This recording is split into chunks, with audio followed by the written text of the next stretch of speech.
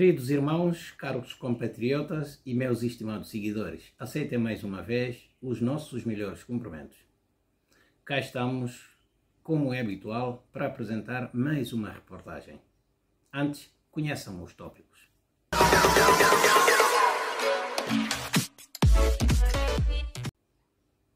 Estando no momento em que decorre a campanha eleitoral, só temos um único ponto, que é o início e os procedimentos deste momento da campanha eleitoral.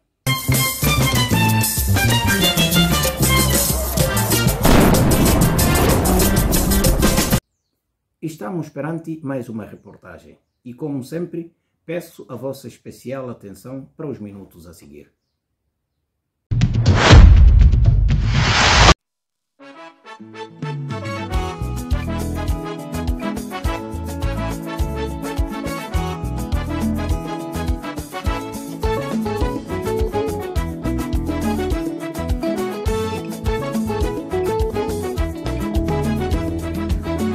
Os partidos políticos e as coligações concorrentes às eleições legislativas assinaram um Código de Conduta e de Ética Eleitoral.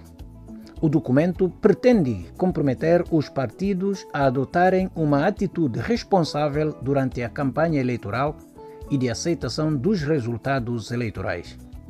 O documento foi elaborado pela sociedade civil guineense. O clima de desconfiança e de conflitualidade permanente que se registra no país constitui fator de preocupação crescente para as organizações da sociedade civil. O presente Código de Conduta visa contribuir para que as eleições legislativas previstas para o dia 4 de junho decorram num clima de paz e tranquilidade. A sociedade civil irá se mobilizar para garantir o seu respeito escrupuloso esperando dos partidos e as coligações concorrentes a essas eleições legislativas facilitarem o seu monitoramento com as boas práticas eleitorais.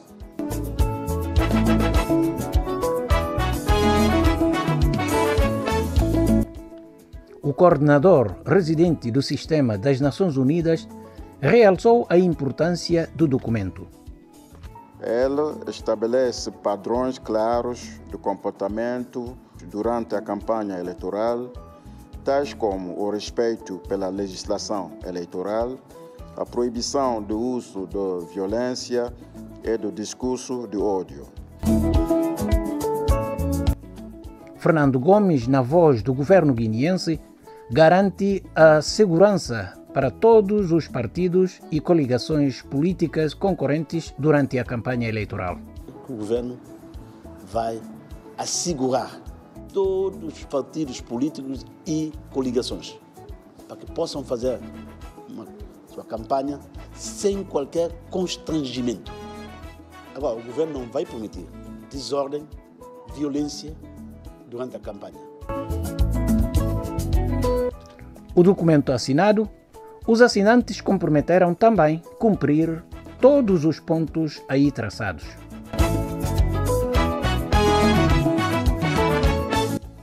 Conforme o programado, a campanha eleitoral começou no dia 13 de maio de 2023, com festas e danças por todos os lados, na perspectiva de divulgar os programas eleitorais.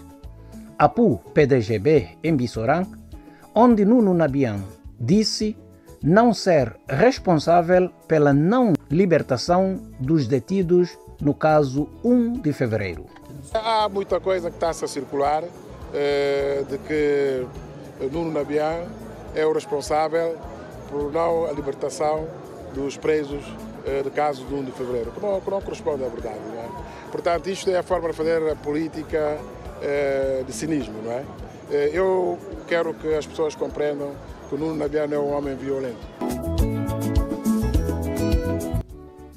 A má campanha de castanha de caju desde ano passado é a queixa que vem de todos os lados da Guiné.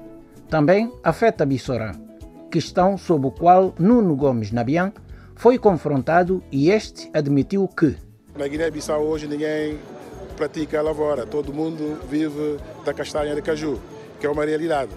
E, e até aqui eh, não há ainda, portanto, fluxo de venda deste produto hoje em dia considerado como estratégico não é, da Guiné-Bissau. Mas é uma conjuntura. É, é, é, bom que nós, nós, os políticos, possamos passar a informação correta à população, que eles possam compreender os factos por trás de tudo isto. O líder da APUP-DGB disse ter certeza que ninguém vai ganhar com maioria absoluta, razão pela qual admitiu fazer coligação com Madem G15 e, enquanto isso, o secretário nacional do partido exige a retirada da imagem de propaganda eleitoral do presidente da República com o líder de Madem. Porque por ser presidente de Madem, vou ser presidente de Guiné-Bissau. Que ela está. E que ela tem impugnação do processo eleitoral. Neste círculo eleitoral 5, está em disputa a eleição de cinco deputados. O primeiro dia de campanha para a plataforma da Aliança Inclusiva escolheu o bairro de Kuntum Madina, em Bissau, para promover encontro com os combatentes de liberdade da pátria, na ausência do líder Domingos Simões Pereira, para assinalar a abertura da campanha. Decidimos vir para aqui porque a campanha eleitoral é uma festa da democracia. Eleição é um ato de democracia. Mas se hoje temos democracia na Guiné-Bissau, é porque nós somos um Estado independente. E se temos independência, foi graças a esses combatentes da liberdade da pátria aqui sentados. Confiante na vitória da coligação, o coordenador do setor autônomo de Bissau disse que uma das prioridades vai ser consolidação das instituições para o desenvolvimento do país.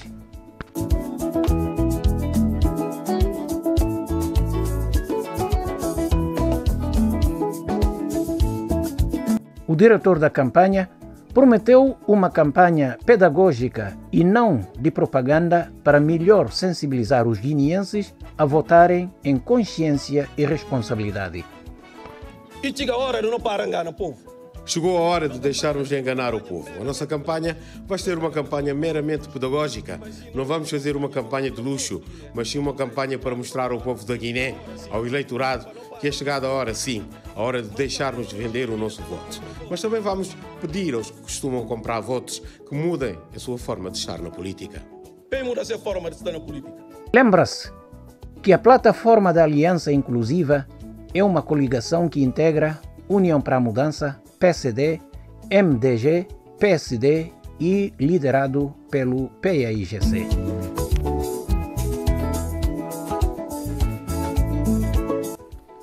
Nesta abertura da campanha, o Movimento para a Alternância Democrática escolheu Cidade de Bafatá, no qual o coordenador do partido prometeu consolidar a paz e a estabilidade nacional como uma das prioridades se vencer as eleições do dia 4 de junho. A paz e estabilidade são valores bases para a execução de qualquer projeto. Sem a paz não há investimento. Por isso, conosco no governo haverá paz, porque nós temos boas relações com Sua Excelência Senhor Presidente da República. E tom bem entoado, Braima Camará disse ser falsa a questão considerar a Guiné-Bissau um narco-estado e prometeu o esforço do seu governo para combater a droga no país. Por que, que se diz que a Guiné-Bissau é narco-estado? Não pode ser. Questão de droga é um problema global e a Guiné-Bissau faz parte do Concerto de Nações. Estamos disponíveis para participar numa estratégia global para fazer face a essa atividade maliciosa que assola todo o mundo. Dirigindo-se aos empresários que estavam presentes no comício de Bafatá, Brema Camará prometeu trabalhar para que a Guiné-Bissau sirva de porta de entrada de mercado português no espaço de CDAO. Portugal tem na Guiné-Bissau uma porta aberta para penetrar no mercado de mais de 500 milhões de habitantes. Portugal tem na Guiné-Bissau uma oportunidade de investimento, quer nos sectores produtivos, quer nos sectores sociais. Sobre a campanha de castanha de caju, o político prometeu colocar a sua experiência à disposição do governo para encontrar solução dos problemas desse setor. A experiência que eu tenho, as relações que eu tenho neste mundo, nesta área concreta de Caju, se não for à disposição do país, estarei a, a prestar um mau serviço, um péssimo serviço. Por isso é que eu decidi envolver para ajudar o país ultrapassar esta situação. O líder Madem G15 ainda prometeu, mesmo ganhando as eleições com 102 deputados, vai contar com todas as competências do país.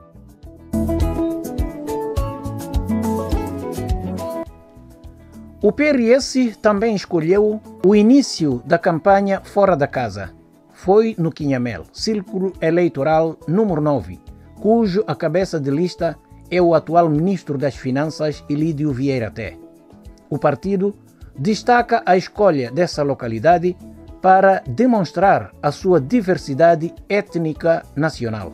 A da transversalidade do PRS enquanto partido nacional viram que antes havia preconceitos de pensar que o PRS é partido de balanças e hoje estamos a demonstrar que aquelas invenções, aquelas intrigas não correspondiam à verdade. E trazer o comício de abertura do PRS para a região de Biumbo demonstra claramente que o PRS está instalado por toda a região da Guiné-Bissau. O é um partido nacional, o é de todo o grupo étnico que se vive na Guiné-Bissau. Mas, entretanto, a popularidade do ministro das Finanças, Ilídio Vieira Té, pesou e muito na abertura da campanha nessa localidade. Biumbo precisa ter água, e precisa ter luz, e precisa ter estrada. Mudança está na parte de renovação social. Boa aposta na parte de renovação social, coisa vai mudar. Antino Mendes Pereira, a cabeça de lista e candidato a primeiro-ministro, afirmou ser preciso devolver poder ao PRS com garantias de que o partido jamais será usado e descartado. A partir de hoje, começa o início do processo de desenvolvimento da Guiné-Bissau. Esta Guiné-Bissau, com a vitória do nosso partido no dia 4, não será mais aquele país pobre que as pessoas classificam. A Guiné-Bissau vai ter aquilo que precisa para o seu desenvolvimento. Vamos desenvolver a saúde, vamos desenvolver a, a, a educação, vamos trabalhar nas, na infraestruturação do país em todos os aspectos. Enquanto isto, os militantes e os apoiantes manifestam confiantes na vitória do partido. Se for uma própria equinagem no terreno, não acredita como irá ganhar. Que tudo convicção não ganhar, não. Programa maior, ver esse lantaguine. Não cumprir, que não é fácil, não, com força de juventude. Estabilidade, educação, saúde, produtividade e desenvolvimento agrícola são cinco prioridades deste partido.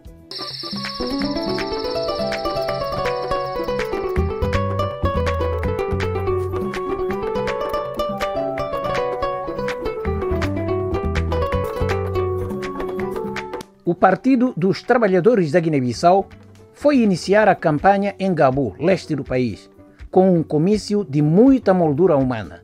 Bochecandé que se fez acompanhar de uma vassoura na mão, o político disse que Gabu vai lhe dar sorte de ganhar e resolver os problemas da região, tais como da saúde, da educação e das estradas. Se Deus ajudar, é a população Pui, PTZ no poder, hospital tem que ter de qualidade, escola tem que ter de qualidade. Filho tem que trabalhar e tem. Pode vir rua de Gabu. Não tem luz. Não é bom hospital. Não é bom caminho. Não tem água. Não mulher na cansa. Se botar PTG, é tudo acabar. A comercialização de castanha de caju como principal bandeira desta campanha, Bochecandé acusou Madem G15 pelo problema que esse setor enfrenta e prometeu melhorar a situação se ganhar as eleições. Ministro da Agricultura mas cada bem de caju. Quem que tem símbolo de caju, ele que dá na caju na Guiné-Bissau. Castanha de caju, bom voto para PTC. Não na demanda aqui, pera de castanha de caju. Pereço que tem na Senegal e tem que ter na Guiné. Bochecandé Disse que a mudança está nas mãos do povo, contudo, pediu discursos que promovam a unidade nacional. Não pedir a nós para discurso de unidade, discurso de amizade, discurso de irmandade, porque não nos junta mais, nós junta irmão, dividir com o outro. Política é com vingança, política é com ódio. PTG, fundado em 2021, com um líder de larga experiência desde PAIGC, PRS e trabalhou com vários presidentes da República e fundou vários movimentos de apoio.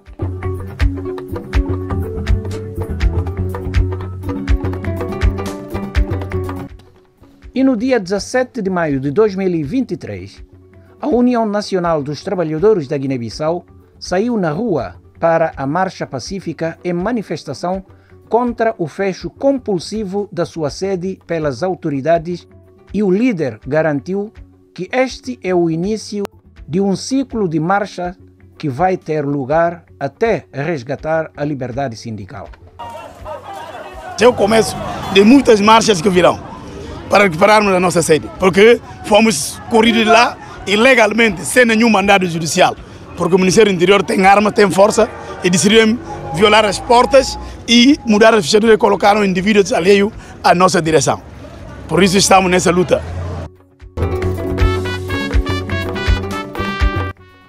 O Fórum da Sociedade Civil para a África criticou a forma como os partidos políticos estão a exibir os recursos utilizados na campanha eleitoral, numa altura em que os setores de saúde e da educação andam paralisados.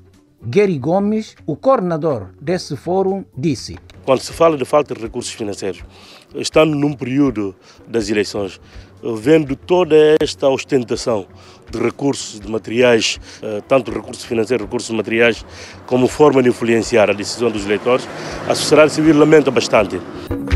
O ativista social deixou alerta ao povo de não se enganar com as campanhas de ostentação para darem mais atenção aos programas que vão resolver os problemas do país. É preciso, de facto, próprios cidadãos também assumem a sua responsabilidade a não se iludir com essas manifestações, com estas ostentações de recursos. O que é mais importante é ver os programas, o mais importante é ter a certeza quem está e quem estará em condições de resolver os problemas básicos do, do, do, dos cidadãos.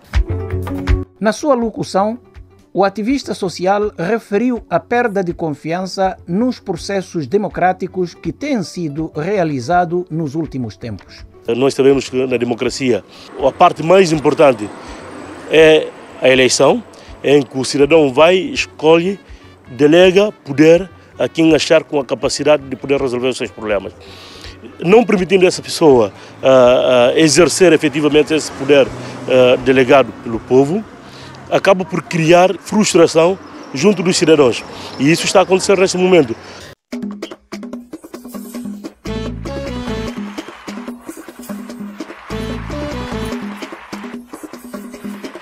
Este é o regresso do líder da coligação PAI Terra Arranca no dia 16 de maio de 2023, recebido pela multidão de apoiantes mas que não conseguiu ter acesso à sede do partido por ser barrado pelas forças policiais, sendo obrigado a desviar o percurso rumo à sua casa.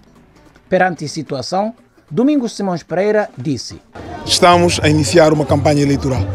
Uma campanha eleitoral é suposto ter um momento em que todos os partidos políticos, neste caso, porque vamos a eleições legislativas, têm a oportunidade de falar ao seu eleitorado tem a oportunidade de conviver com a sua população e transmitir a sua mensagem. Nós vimos líderes políticos entrarem no país. Nós vimos equipamentos serem comprados para a campanha eleitoral. Nós vimos várias formas de manifestação, todas pacíficas. Hoje, com a entrada do líder do PAIGC, era preciso mobilizar uma bateria policial para impedir a nossa entrada para o centro da cidade.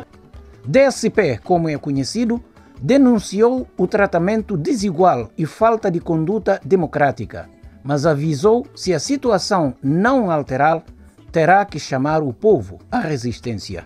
que haja aceitação das regras democráticas, porque nós somos pacíficos, não gostamos da violência, mas nós não podemos deitar abaixo a aspiração do povo que nos acompanha.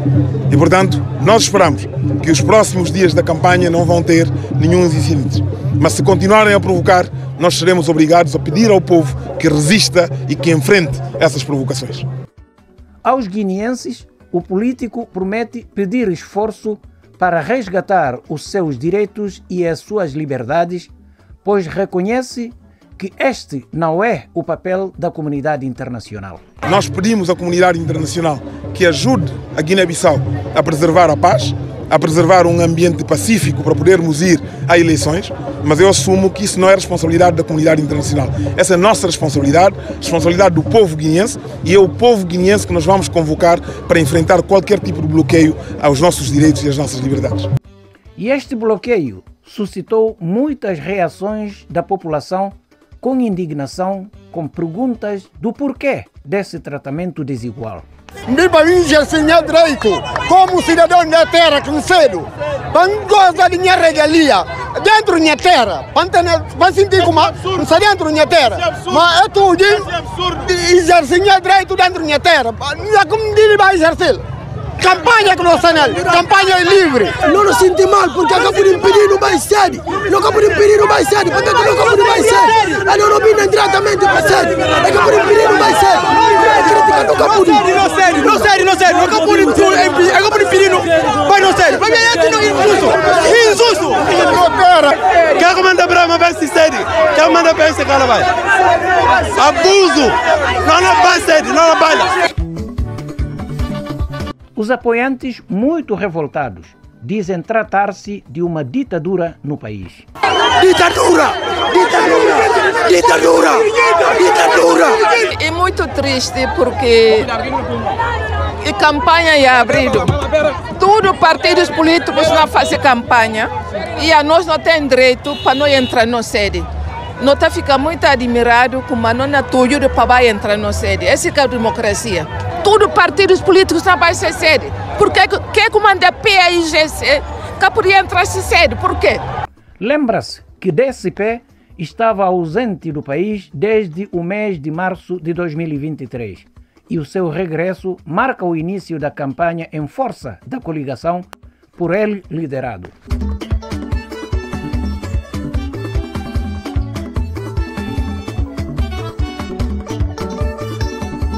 Enquanto isto, num encontro com os régulos e chefes tradicionais na presidência da República, 17 de maio, Umaru Sissoko Embalo disse que as restrições impostas pelas forças policiais não passam de um mal-entendido e que já não voltará a acontecer porque o assunto já foi tratado com o ministro do Interior. Eu chamo ministro do Interior é, e tenho incompreensão. Para mim, pensa como e que tem o porquê de impedir um partido de ter coisa. Agora, que aqui é verdade como primeiro partido que a mim fala como nunca me soube barulho e mademos é 15. Agora, que é que passa ontem que não passa mais? Porque é que por batalha PAGC lá na, na chapa? Não. Porque ali, a partir de 7 horas, 8 horas, perímetro de segurança de presidência, aquilo é inquestionável. Referindo-se aos partidos outrora coligados na governação, Umaru Sissoko Embalo lança repto a todos e avisa. Nunca pude juntar ontem e a hoje não se atacam outro, que é irresponsabilidade ou infantilismo político. Mas, não chamei eles a atenção a eles tudo. E sobretudo aqueles que estavam no governo, como é interditado de atacar outro. E percebi como se continuar assim não tem consequências. Porque responsabilidade é partilhado. Não basta atento com seus discursos.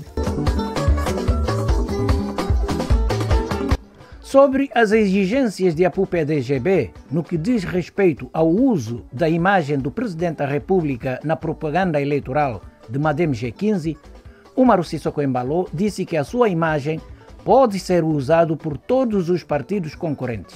É verdade, como eu ouvi mensagem de manga de partidos, que está preocupado com a imagem que o partido não usa. Todo partido tem direito de usar a imagem do Marciso Gambano. Quem que me Isso é autorizado.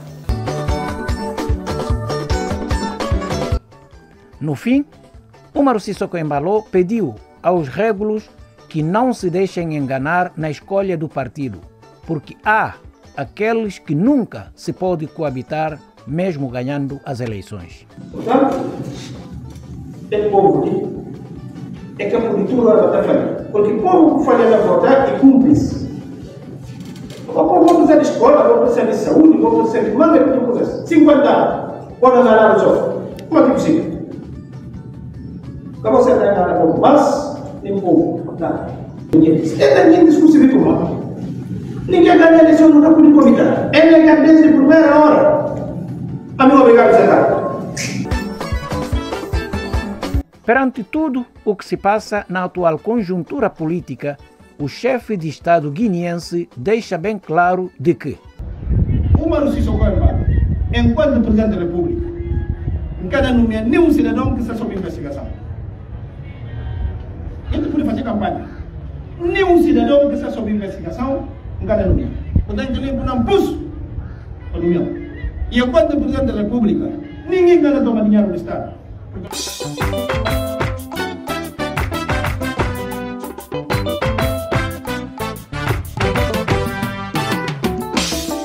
Voltando para os partidos outrora coligados na governação do país, o presidente da República lamenta a atual postura dos mesmos com indignação quando disse: Nunca pensamos como a gente nasceu um grado.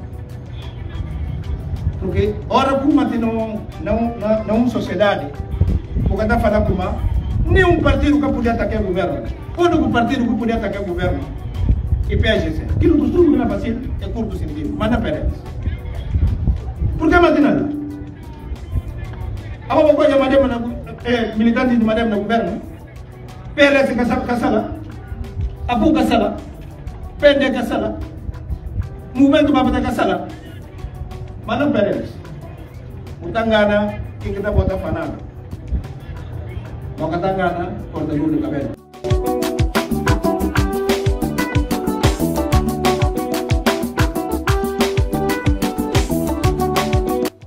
Perante a situação, Umaru Sissoko Embalo já disse e agora repete que a nomeação de Domingos Simões Pereira e Geraldo Martins é uma questão impensável, mas chama a atenção sobre o erro de avaliação, que não significa que PAIGC não pode assumir a governação do país ou não pode também coligar com Madame G15 sob o seu próprio patrocínio para estabilizar o país.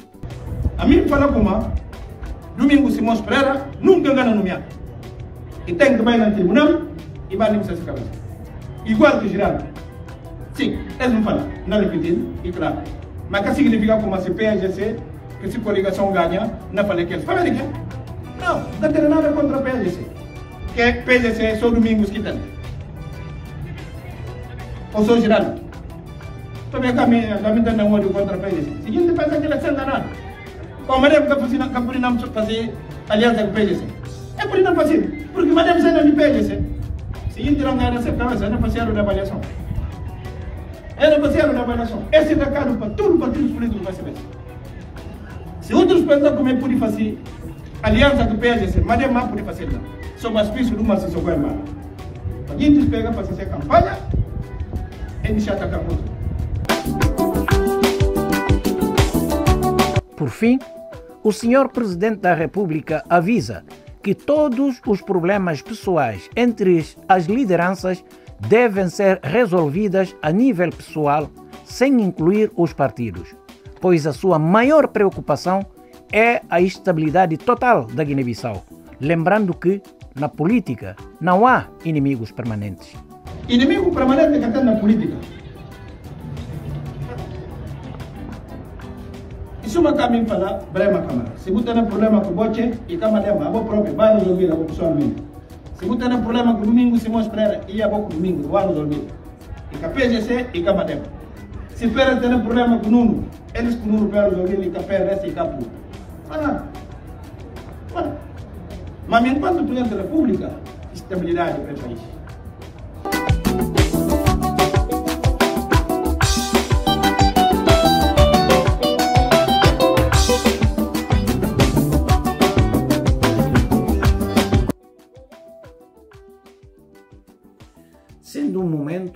Em que há muita luta para poder conquistar a vontade popular e de adquirir mais número de votos, é normal que haja acusações de parte a parte entre os políticos. Mas é importante que ninguém desperdice a oportunidade de ter a calma necessária e de ter a tranquilidade necessária e toda a paciência de apresentar em detalhe todo o programa de governação que é para submeter à vontade popular e de convencer o povo para poder merecer a confiança e ser dado mais número de votos. Esperando que todos vão ter a maturidade necessária para que o processo corra tudo na base da normalidade, para que pelo menos possamos considerar umas eleições tranquilas e pacíficas. Retiramos com as nossas palavras de sempre. Fiquem com os nossos abraços, beijos e carinhos sem fim. Com promessas de voltarmos aqui muito em breve para a apresentação de mais reportagem. Até lá, fiquem bem. Bye bye.